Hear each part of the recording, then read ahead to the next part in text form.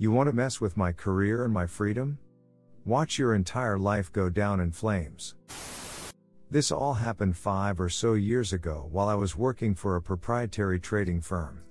The company is a multinational and it had opened a new office in my city a couple of years before I joined them. For those who don't know, most prop shops, as I understood it, have a very high turnover rate. Just toss everyone in and keep those who stick. The company I worked for recruited every three months.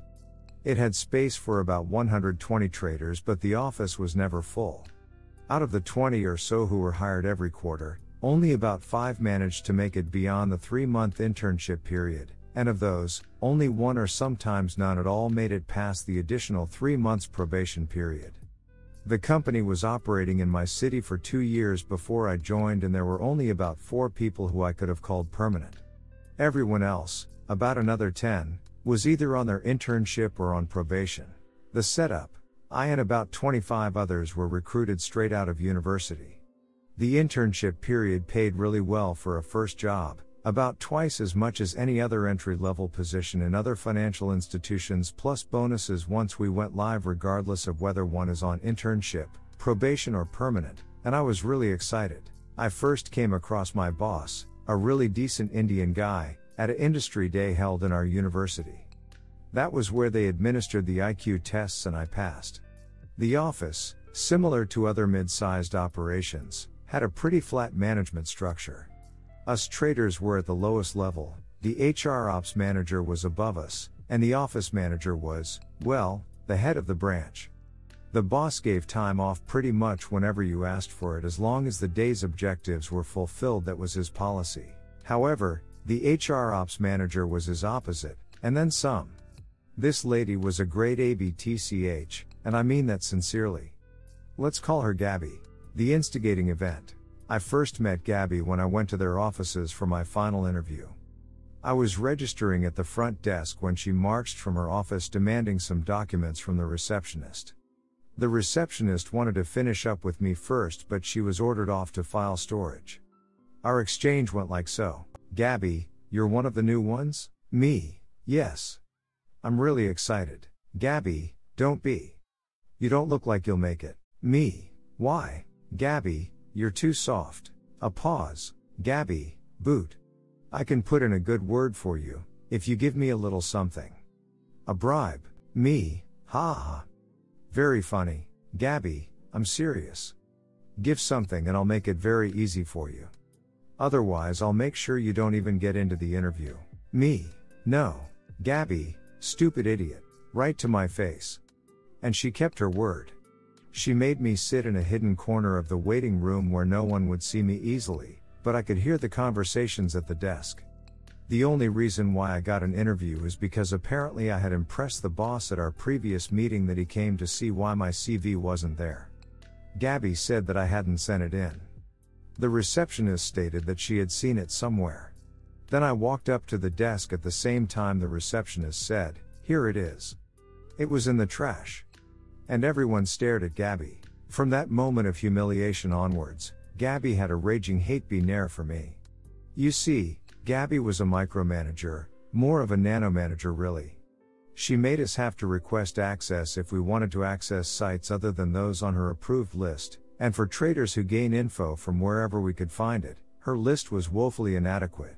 She would call meetings at the most inopportune times, but only when the branch manager was not around, and in her lengthy meetings, you could never leave to check on your positions.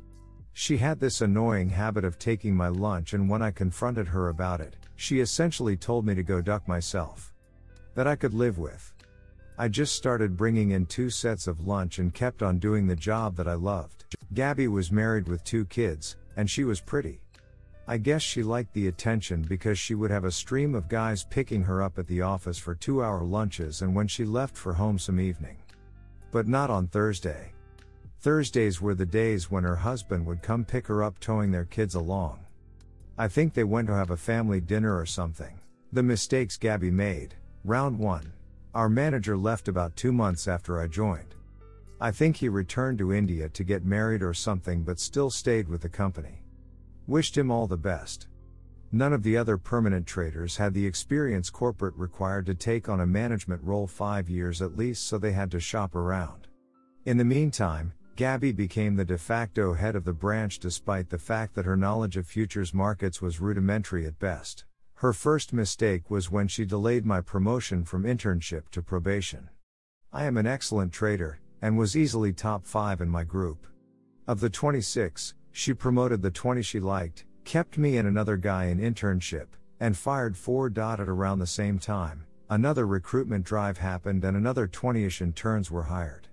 I knew this was our beef rekindled and remixed, and I was actually surprised she held onto it for so long.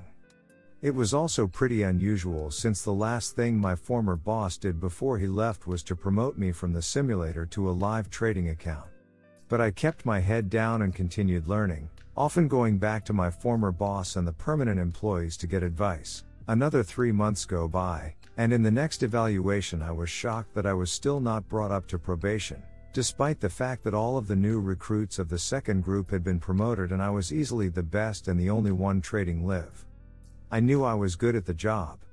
The permanent guys all said so. The group I initially joined with was frequently asking me for advice. To their credit, a few of them were good, but most of them were still on sim, and as a rule, no one advanced to probation while still on sim. However, you could go live while on internship if you were good, which is what had happened to me. So I was a live trader and making good money, but I was still on internship and passed over twice. I couldn't let go of that. I decided to talk to Gabby directly. I approached the senior guys and made my case, though I was careful not to put her in bad light. They agreed to help me and so they did. About a month after the she passed me over the second time, she gave me my promotion and I was now on probation. At this time, she was still unsure of her power and was still afraid of the permanent traders. Those guys were like gods. Two months after my promotion, another evaluation and recruitment drive. I was not promoted. The group I started out with was now permanent, despite having only two of them trading live. The group I was currently with on probation were all promoted to permanent status. The group behind me on internship was all promoted to probation, and another group was hired. I let it go hoping she had got it out of her system. Sadly, she had not. Round 2. Three months go by. I'm trading live and loving it, though still on probation. An evaluation comes up again and I'm not promoted, despite the fact that, contract to contract, I was almost on a level with the permanent employees. The group that found me on probation was advanced to permanent status to a man, and none of them were live. The group behind me caught up to me and a new batch of newbies were hired as interns. I couldn't let this one go either. I approached the original four permanent employees who were now my very good buddies and planned to do the same thing as last time. Only this time, it didn't work. Gabby had grown into her sadistic power and flatly refused to even consider my promotion even after she was presented with evidence that I was worth it.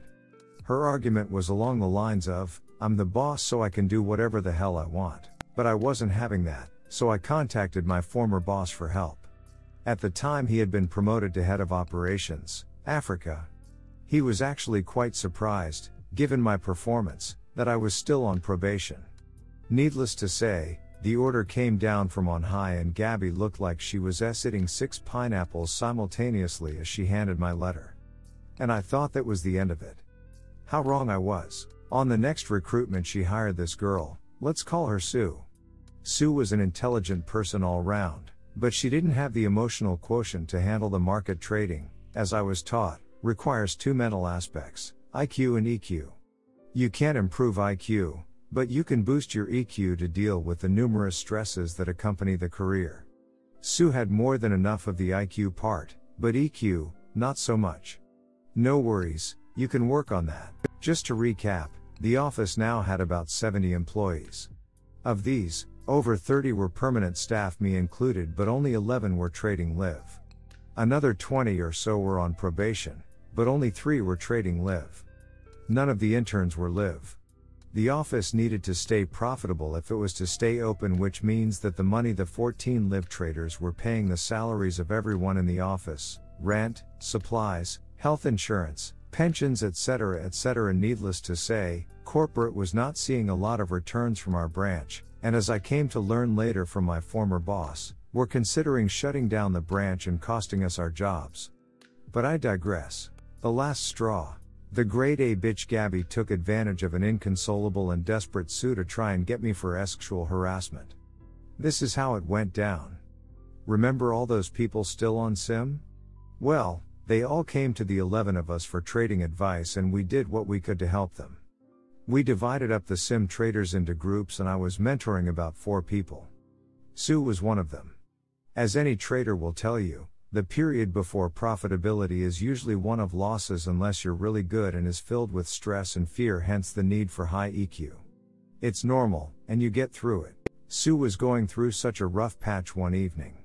We were going over her trades bad trading day all around, when she just burst out crying.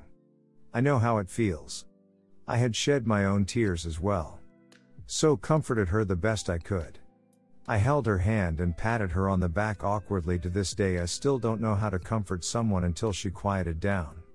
What I didn't know was that Gabby had seen us. As I came to learn later, she approached Sue the following day and made her an offer. Gabby would make sure Sue kept her job and would get her a lot of money if she stated that I had sexually harassed her. Sue took Gabby up on the offer, and what followed was a nightmare. It started with a formal reprimand from corporate, a hearing in which I wasn't present to defend myself because Gabby forgot to send me the summons. Apparently, she lobbied quite viciously to get me fired. The only reason I was able to keep my job was that my former boss came to my defense. Despite his help, I lost my quarterly bonus about 100,000 US dollars and half of my holdback about 400,000 US dollars.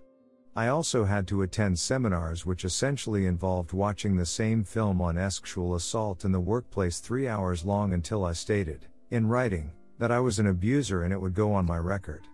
I knew that if that happened, Gabby would have the ammunition she needed to ruin my life forever.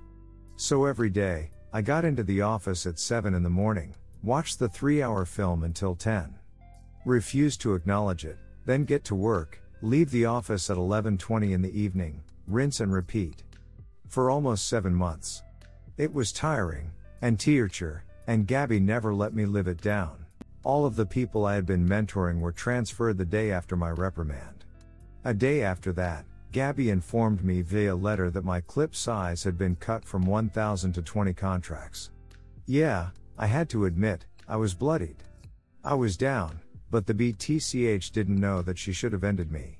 The revenge. Step 1 ruin Gabby's career, I started compiling all the asset that was happening to me in the office.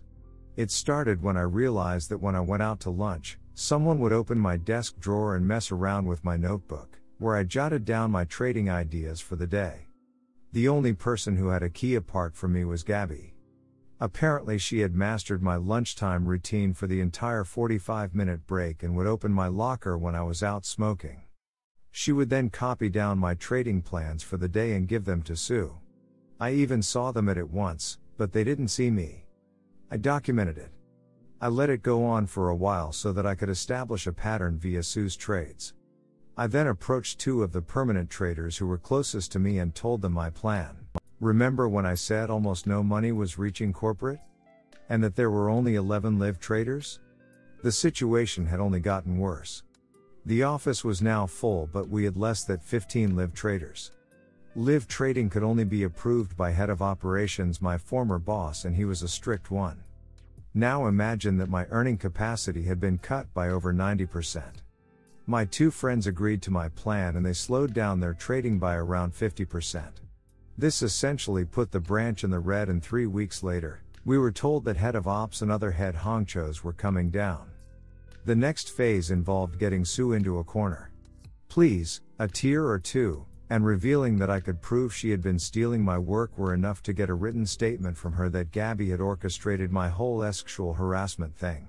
Step 2 Ruin Gabby's marriage. It took only a little investigation on my part to realize that all those men who visited the office were actually Gabby's lovers.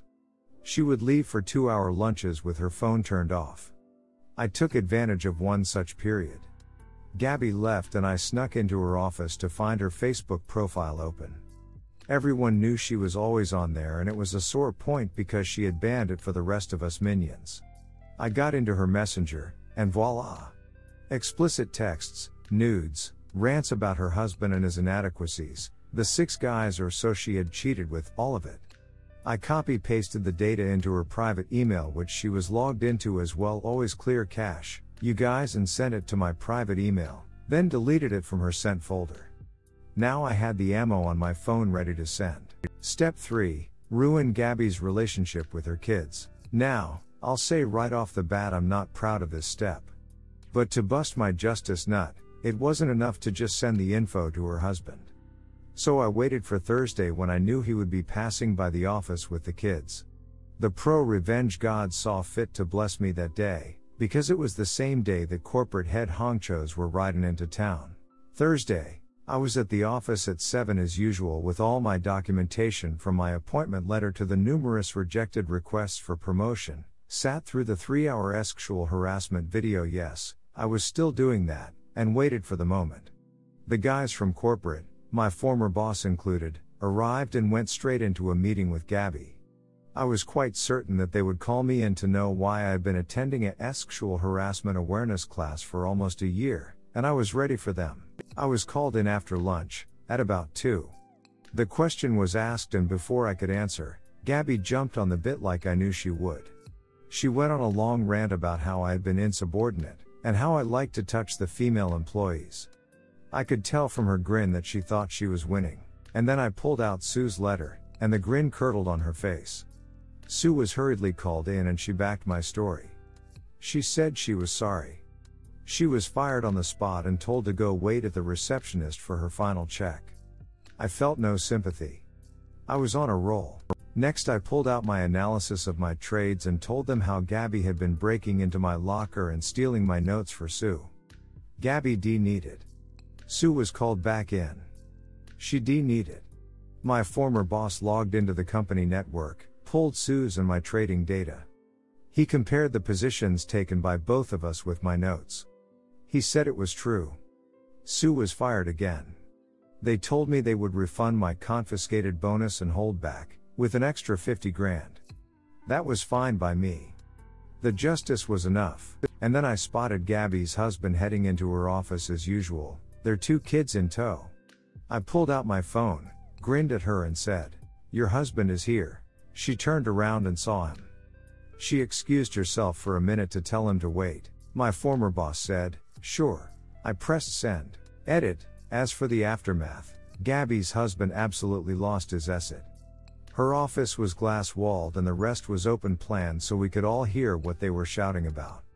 He finally left with their kids in tow. Sorry, little ones. Gabby followed him, still shouting at him. Then she saw us all standing around, and the look on her face was priceless as she was wondering which aspect of her life to try and salvage. She let her husband go, but about an hour later she had been fired. My favorite boss stayed behind since there was no one left. He stayed for a month training the lady who had been with the company the longest to take over as manager. She is easily the most brilliant mind I had ever met. Unfortunately, the branch was still struggling with so many employees who were not generating income and they had to shut it down. But they transferred all the performing employees to their other various branches in London 2 branches and India 9 branches. So I guess no one undeservedly lost their jobs. I still stalk Gabby on Facebook. There have been a lot of I'm single because I'm too awesome posts of late. I almost feel sorry for her, but I remember the three hour video and I stopped being foolish. From what I could see on LinkedIn, Sue bounced around from firm to firm until she found a position as a research analyst. My favorite boss is still at the firm. We talk from time to time. I took a break from trading for a while. After all the asset that went down, I needed a break so I didn't take them up on their offer to relocate to India. Went to work with a buddy of mine who has a consultancy. When I feel ready, I'll go back to the market. For me at least, there is no other job as challenging and satisfying. Wow. That was long. I think though that's the end of my pro revenge. Edit 2. Wow. This blew up. And gold too. Thank you, kind strangers. I'll try and get to all the messages in a bit. I'm glad you all enjoyed it. I did too. Well, The revenge part, anyways. Edit 3. So a few guys have stated that my story is BLLS on account of some claims. I will address the most common ones. 1. Guys have gone through my post history and have found another post I made on Ask Reddit where someone had asked when the last time I yawned was. It's a bit long and ridiculous. If you read it and honestly thought that it was actually true, I can't help you. You can choose to believe that I'm a footless, noseless, 80 year old Vietnam vet or a young man trying to make his mark. It's your choice, too. Others have found another post on Ask Reddit where someone asks people who like their jobs what they do. I said that I write papers and it's decent money. And that's true as well. I've been writing since my first year of college. I love doing it. I can write all day and then some. That job got me through college and I made enough to properly supplement my student loan. Do I still write? Yes. I do it because it's challenging, and as I said in that post, I learn something new every day. In fact, I'm still writing now because my gig at the consultancy is not full time. You can do more than one thing at a time, you know. 3. Yet other people have tracked down a random comment I made on a funny comment.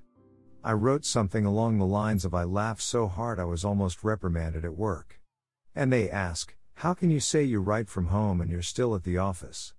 Yes. I can write at home and go to the office. It's what happens when you have time on your hands. I'm not a one dimensional person whose job is their identity. And neither are you, hopefully. 4. Another guy found a comment of mine where I stated that I'm African. For some reason, S. He didn't believe that Africans engage in financial markets or something? Ike. 5. By far the biggest reason is the fact that I'm active on the r/MensRights sub. And it's true. I am. After I was falsely accused, of course I went digging around the internet looking for answers. It made me think. And as far as false accusations are concerned, I fully support the MRA position. I am not ashamed of it. I'm not here to change your mind. And I definitely hope that you never have to go through what I went through. People have committed suicide because of that essay. It's not something to joke about. 6. Lastly, to the person who doesn't believe that one can make that much money straight out of college, yes, that much money. Phew. Got that off my chest. Oh, and another person wondered how HR could end up as head of the branch. I think I specified earlier that she was HR ops. The ops part should have qualified her to be branch head if she wasn't utterly incompetent. In the end, though, I guess you just have to choose whether to believe or disbelieve.